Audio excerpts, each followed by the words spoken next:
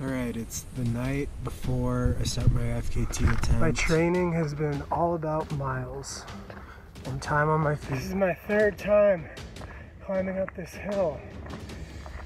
Oh, I just peed on myself. I guess I'm out of practice on this whole hiking thing. Why am I attempting the speed record on this trail? Well, why did I attempt and complete Nolan's 14?